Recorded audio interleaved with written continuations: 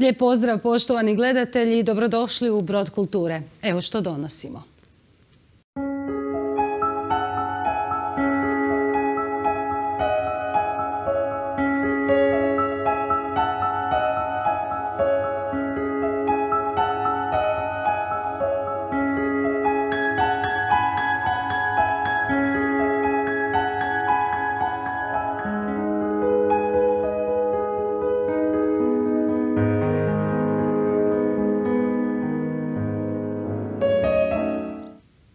Emisiju otvaramo s bespomoćnim stvorenjima.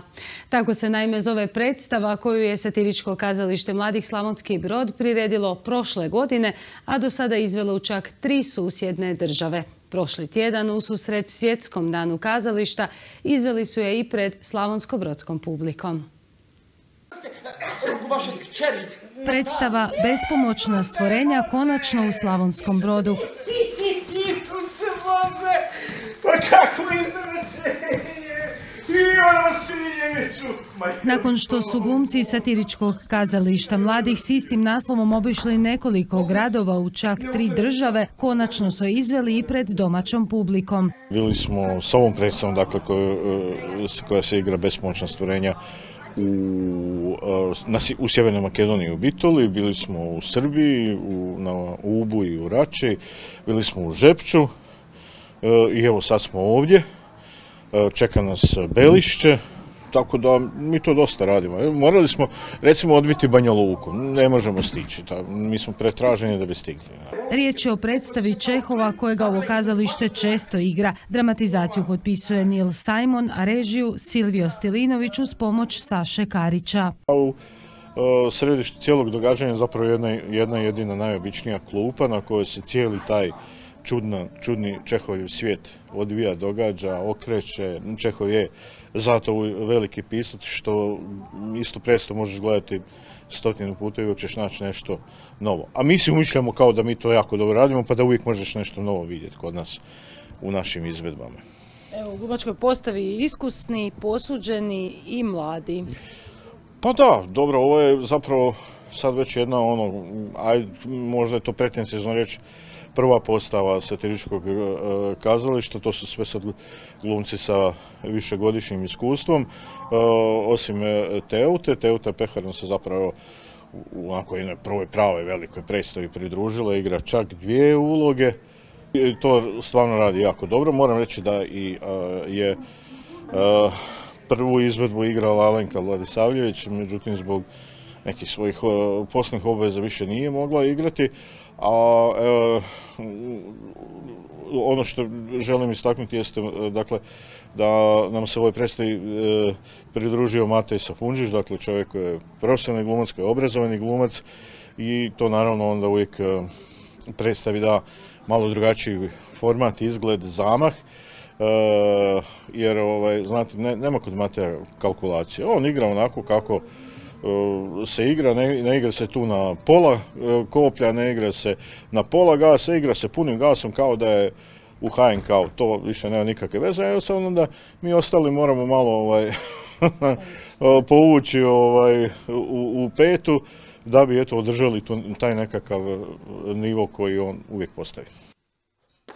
Predstava se vidi tih sat vremena, ali ovo što je iza, znači ove naše probe što imamo krenuši od čitajući, znači od pronalaska teksta, štrihanja teksta, prilagođavanja, traženja glumaca, razmišljanja o tome koji bi glumac mogao pristupiti kojoj ulozi, ovaj, naravno onda redateljskih zahvata, tehničkih zahvata, bude tu i posla i dosad i ovako i onako, ali opet onaj krajnji rezultat, on je najljepši. U bespomoćnim stvorenjima glume Teuta Pehar, Zrino Gusak, Tanja Savić, Silvio Stilinović, Moreno Mijatović i Antonio Juričić, a kao gost i Matej Safunđić. Dosta smo dobro primljeni, ekipa sve bolja bolja. Po meni je zapravo ovo što smo bili u drugom mjesecu u Rači bila možda i najbolja izvedba gdje se ekipa nekako razigrala, zaigrala i, i publika je disala zajedno s nama, tako da je to stvarno bila jedna prekrasna izvedba. A Slavonsko-Brodska izvedba također je ispunila sva očekivanja publike koja se od srca nasmijala veselim dogodovštinama na pozornici. Satiričko kazalište Mladih Slavonski brod u nastavku priređuje čak dva nova naslova, Ljubav na prvi pogled i Ne motaj se okolo gola golcata. Istovremeno dvije nove predstave pripremaju i mladi glumci kazališne radionice. Najavili su i ovogodišnju županijsku smotru kazališta koja će se održati 24. travnja.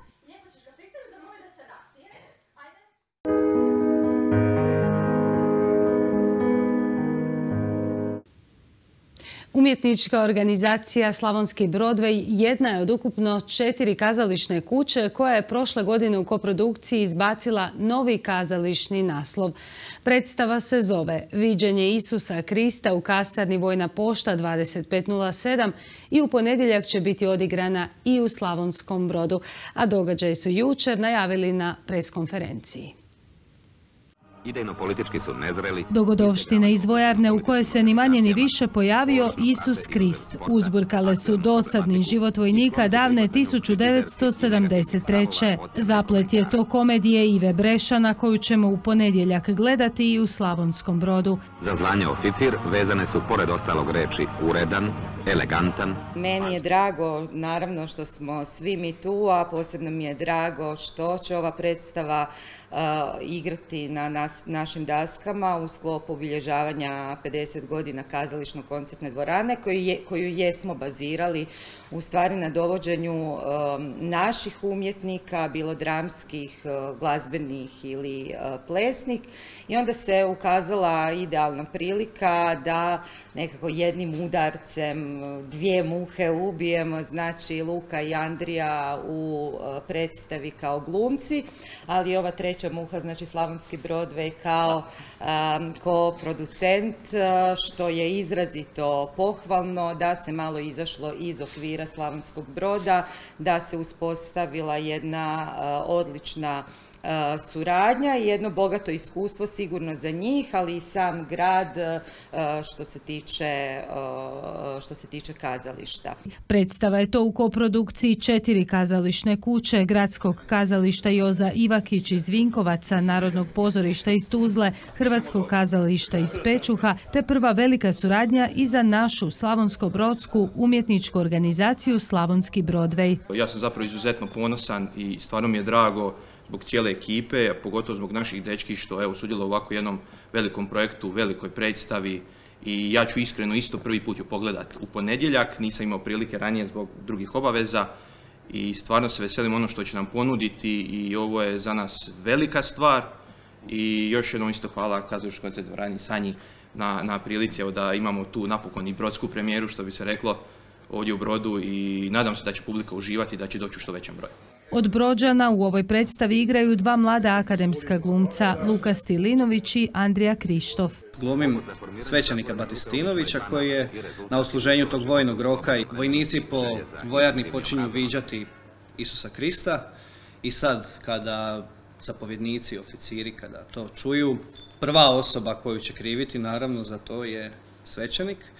Tako da je ta uloga bila nevjerojatno zanimljiva i kao opet čitava ekipa, mi dolazimo ono iz, iz različitih krajeva, iz nekako smo ovako različiti, a skupili smo se u jednom fantastičnom procesu. To. Naučili smo nešto kako je to nekad bilo, kako se vojnik treba ponašati, kako treba hodati, kako treba pozdravljati, tako da je za nas mlađe isto to bilo ovaj, jedno neobično i zabavno iskustvo. A, volio bih zapravo pozvati isto sve građane Broda, a i ne samo i Broda i šire čitave županije, da zapravo vide kako se uz taj nekakav trud i angažman stvarno može napraviti odlična predstava koja je gostovala, evo na primjer sad na zadnjem Virkasu u Virovitici smo dobili ocjenu publike 4.92 što je u biti i nama nekako motivacija i dokaz da smo napravili nešto dobro. U zapletima kakve samo Brešan zna napisati, igra ukupno 13 glumaca. Izmjenjuju se komedijano i život, a sve to kroz dramatizaciju i režiju na daske postavio Jasmin Novljaković. Nama je bilo zabavno, ja sad govorim prvenstveno za mlađi dio ekipe, za vojnike, nama je bilo zabavno jer tu smo imali Jasmina, redatelja, e, Gorana Grgića i Ljubu koji su bili u JNA i onda bi što god da radimo uvijek bi provjeravali Jel to možda malo previše? I najjače mi je od svega što nikad nije bilo previše. nikad nije bilo previše, uvijek kažu ne stvarno, kao ozbiljno, tako je bilo, kao ne, nisi pretjerao, možeš još jače. Tako da, evo, zbog toga se najviše radujem brodskoj premijeri, jer mislim da će publika uživati, ja se nadam. Glumci dolaze iz Vinkovaca, iz Osijeka, iz Križevaca, iz Pečuha, iz Broda, tako da je vrlo zanimljiva kombinacija. Tema je naravno integrantna onome ko nije nikad slušao, koji nije bio u vojsci, e, takvoga tipa koja je bila sistemska, koja je bila praktički nešto sasvim drugo nego što sada živimo. Znači to je karikatura, sistem, religija, svega ima, zanimljivo je jako. Dođite svi na predstavu.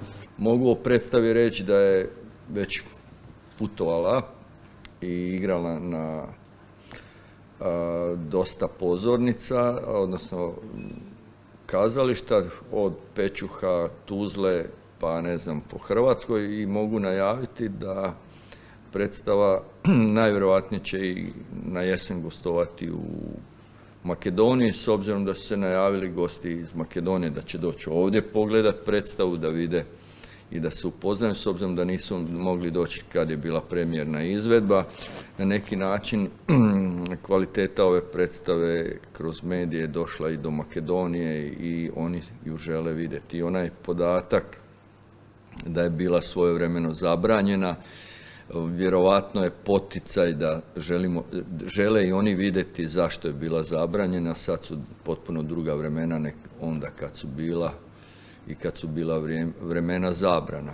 Dolazak u Slavonski brod svojevrsna je potpora i Slavonskom Brodveju. Mislim da je kazalište Slavonski Brodvej jedna lijepa zrno kazališne umjetnosti u ovom velikom gradu, u ovoj prekrasnoj dvorani i mislim da Brod zaslužuje kao i svi stvari gradovi, ali posebno Brod s obzirom na uvjete koje imaju na prekrasnu veliku scenu, na veliki broj publike koji može primiti da, da ima stvari svoje baš i profesionalno kazalište i da taj Broadway u stvari treba postati jedno zrno iz koje će isklijati jednog dana i profesionalno kazalište i profesionalni ansambl.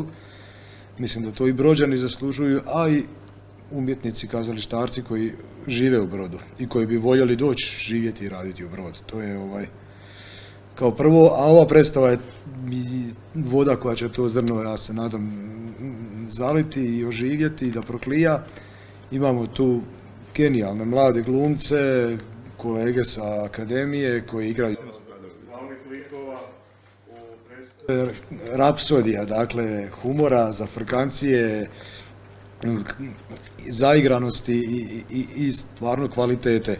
A za sve koji žive u Brodu, no i okolnim mjestima preostaje pozivnica. Viđenje Isusa Krista u kasarni Vojna pošta 2507 gostuje u ponedjeljak u 19.30 u Slavonskom Brodu.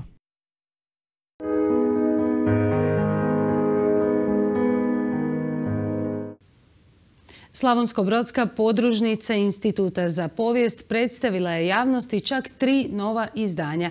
Urednici knjiga tako su predstavili znanstveni časopis Skrinja Slavonika, zatim priloge za povijest broda i okolice, kao i zbornik radova znanstvenog skupa Dunav u Hrvatskoj povijesti i kulturi, održanog 2018. godine. Evo detalja.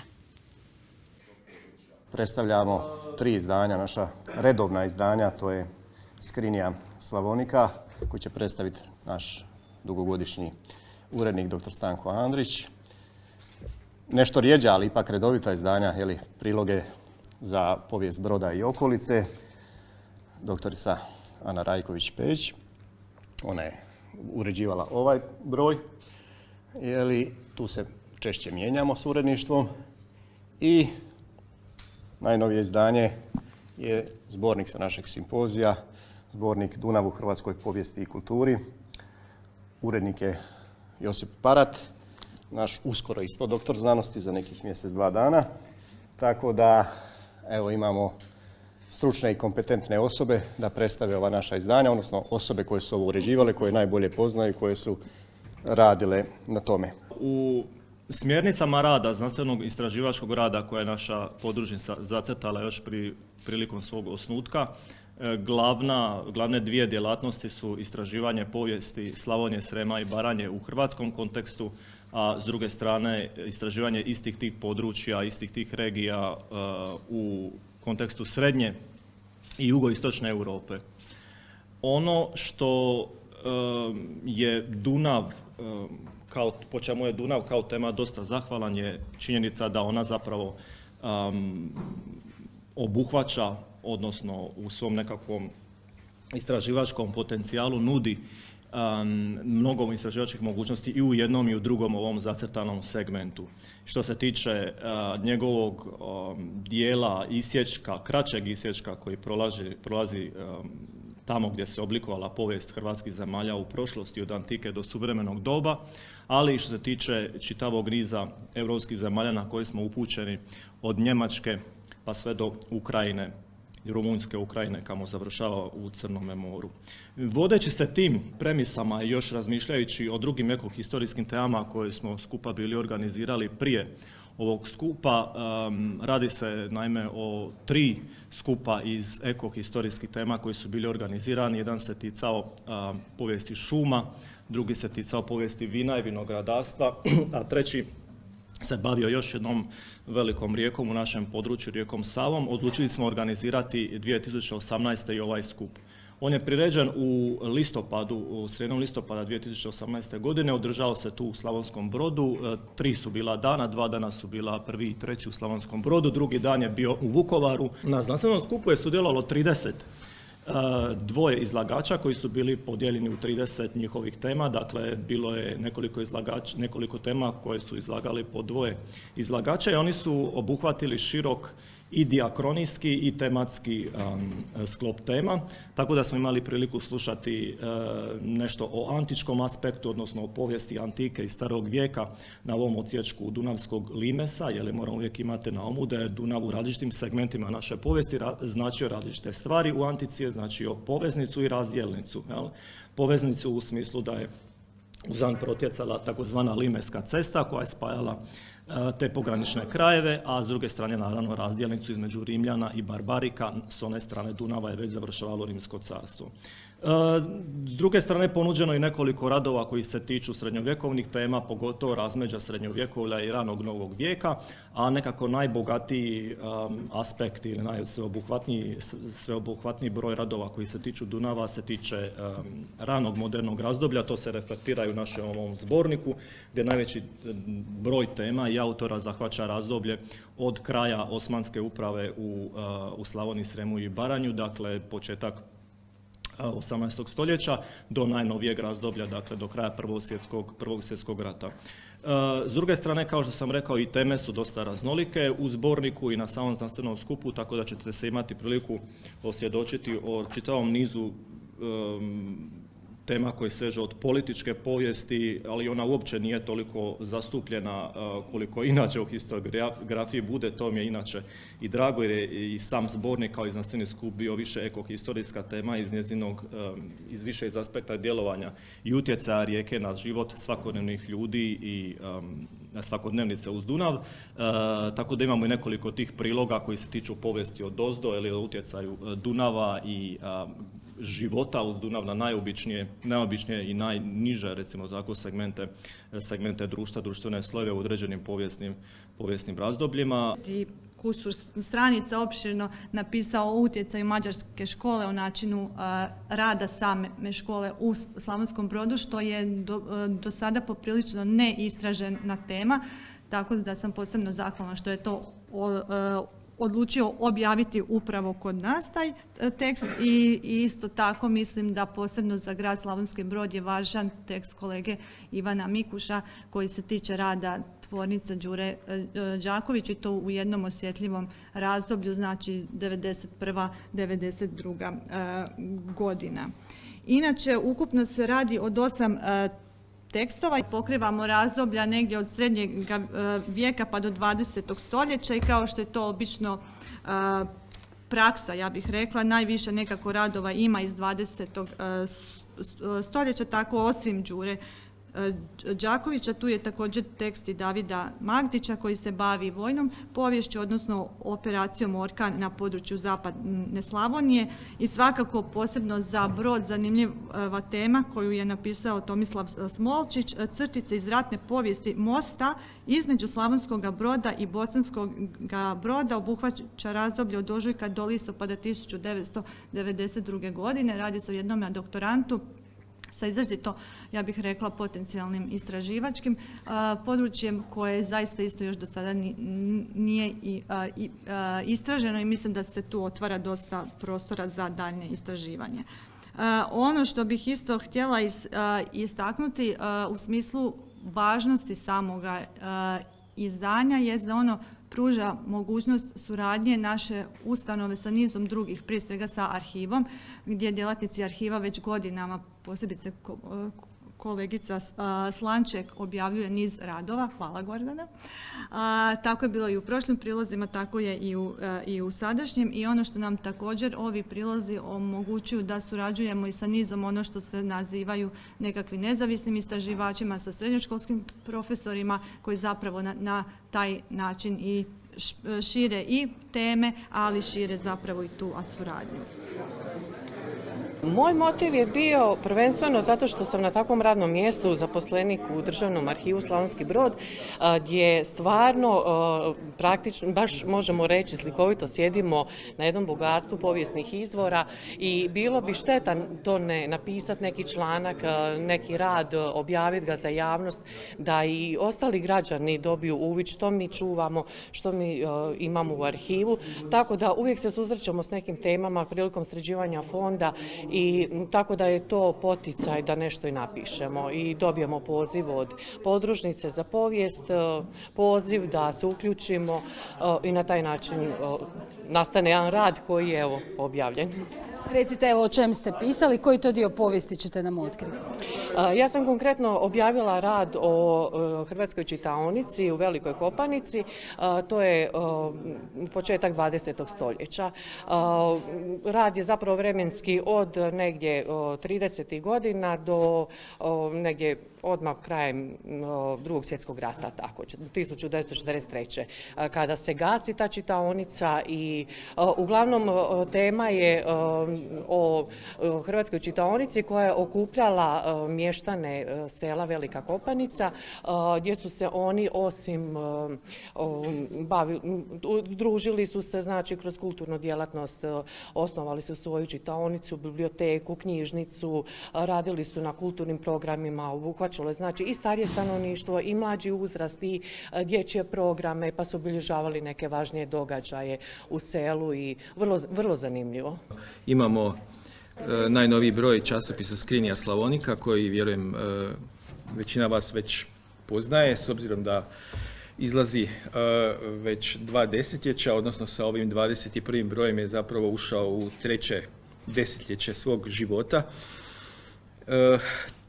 I evo na, na kako da kažem, na moju sreću i zadovoljstvo, ja sam urednik tog časopisa od od prvoga broja. Dakle, mi smo pod prošle godine iz tiska izašao 21. svezak našega časopisa koji je, ja bih rekao, najkraće rečeno standard, standardan u smislu i opsega od svojih šestotinjak stranica što je neki možda prosjek kad se sve uzme u obzir i od gledano po, po, po broju radova koji su uvršteni i po raznovrsnosti tema koje se obrađuju a i po nekakvom sastavu suradnika, odnosno autora koji u tom časopisu objavljuju, objavljuju svoje tekstove, a to je da već niz, niz godina zapravo samo manji dio radova u skrini pišu, objavljuju naši vlastiti zaposlenici u podružnici, naravno da uvijek ima i ponetko iz podružnice i također iz našeg matične kuće u Zagrebu, ali zapravo prevladavaju autori sa drugih, raznih drugih institucija u Hrvatskoj i, i izvan Hrvatske. U ovom broju je objavljeno 14 recenziranih radova koji su onda dobili različite kategorije od izvornih znanstvenih radova do stručnih radova i 15 priloga raznih drugih vrsta. E sad, dakle, što se tiče ovih, ovog glavnog dijela časopisa, to su ti recenzirani radovi, najprije imamo, dakle uvijek, uvijek časopis ide kronološki, sadržaj časopisa je složen kronološki, krećemo od u, ovom broju od srednjega vijeka.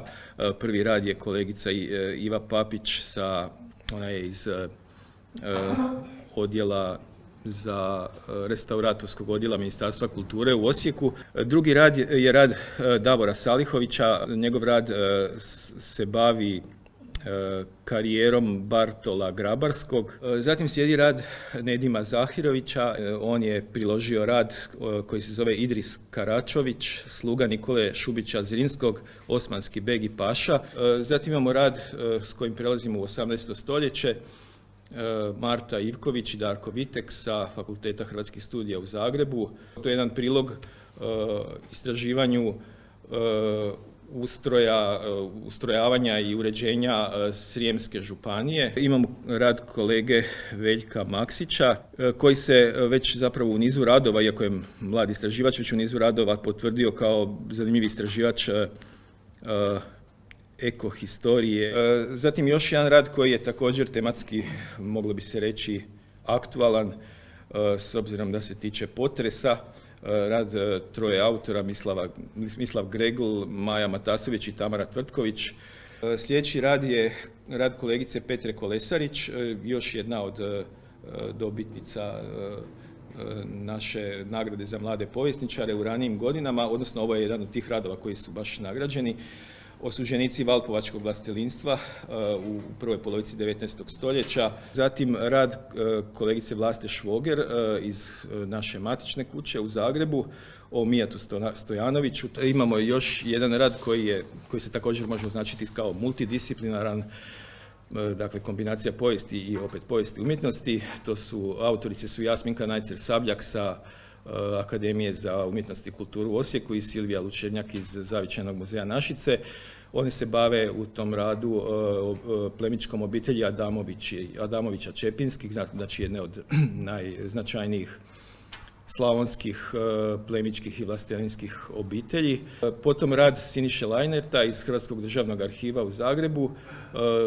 Siniša Lajnert je ovo je jedan od, u nizu njegovih radova, on je sigurno vodeći, vodeći povjesničar željeznica u Hrvatskoj danas. E, zatim rad našeg kolege Ivice Miškulina koji je nekad također bio zaposlenik podružnice, sad je na e, katoličkom sveučilištu u Zagrebu, učitelji politika, slučaj Ivana Trdića, potom kolegica Ana Rajković e, sa radom koji se tiče istog tog međuratnog razdoblja.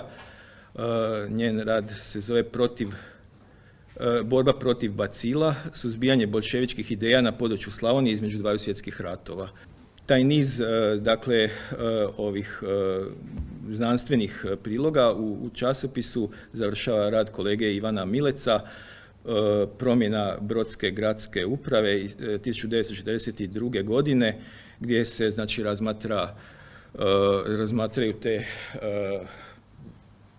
tektonske promjene koje su se događale uslijed e, promjene državnog okvira između dakle, stare Jugoslavije, prve Jugoslavije i nezavisne države Hrvatske i kako se to odražavalo na na e, strukture lokalne vlasti i uprave na primjeru Slavonskog broda. Nastavit ćemo i dalje tlako u takvom skladu sa mogućnostima i sa stručnjacima koje i dolaze i koji su već tu.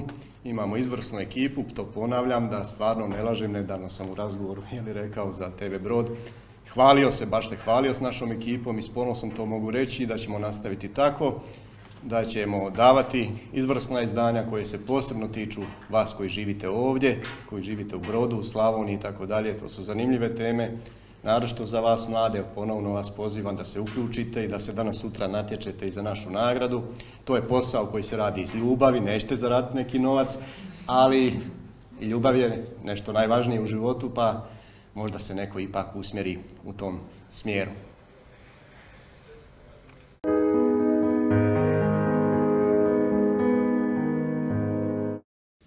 Projekt Vidim, čujem, osjećam umjetnost Galerije umjetnina grada Slavonskog broda provodi od prošle godine.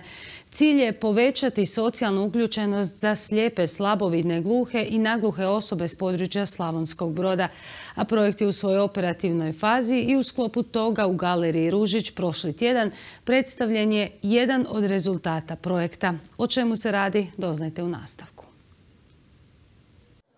Zahvaljujući projektu, članovi udruge slijepih i slabovidnih kao i udruge gluhih i nagluhih uz pomoć stručnih voditelja te članova dječje kazališta Ivana Brlić-Mažuranić već su mjesecima uključeni u različite kreativne radionice. Kao jedan od trajnih rezultata projekta ostaće i muzejski interaktivni vodič za slabovidne osobe koji je i službeno predstavljen javnosti. Kojima smo nastojali približiti e, sadržaj e, galerije, stalnog postava galerije Ružić e, slabovidnim osobama u vidu interaktivnog audio vodiča koji dakle govori o stalnom postavu i pomoću kojeg će vidjeti i pročitati ono što možda ne bi mogli pročitati o muzejskim predmetima u stalnom postavu sa ovih klasičnih muzejskih legendi. Mi smo koristili najnovije, najmodernije tehnologije u razvoju aplikacije. Također smo pratili europske regulative za digitalnu pristupačnost u razvoju aplikacije. Mislimo da će ona u stvari zaista pomoći posjetiteljima galerije da na jednostavniji način se kreću kroz galeriju, da se upoznaju sa dijelima koje su izložene i, da jednostavno kroz ovu, aplikaciju dožive ovaj, ovaj prostor. Aplikacija je poprilično jednostavna za korištenje. Ovo je početno sučelje, znači to, to korisnik vidi prvo kad uđe u aplikaciju. Klikom na ulaz dobije prizor da, koji ga pita se nalazi u prizemlju ili na prvom katu. Znači kad uđe naravno da je u prizemlju.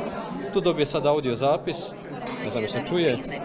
Veliki hrvatski suvremeni kipar Branko Lužić rođen je u Slavonskom brodu. Ukoliko vas zanima pojedino dijelo, pomoću koda možete očitati sve o slici ili skulpturi kao i autoru. Osobe oštećena vida sada će konačno moći doživjeti galeriju Ružić, postav Branka Ružića i suvremenika na pravi način, jer aplikacija omogućuje opisno pojašnjenje postava, radova i biografije autora.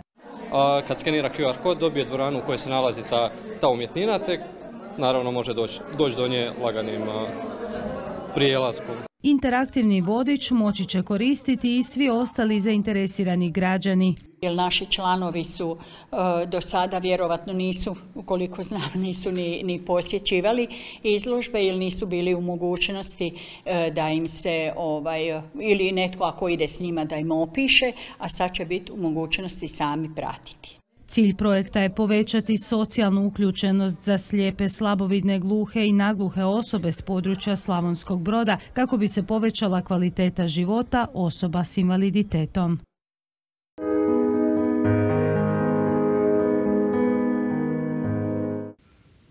Hvala što ste i večeras bili uz Brod kulture. Vidimo se ponovno iduće srijede. Doviđenja.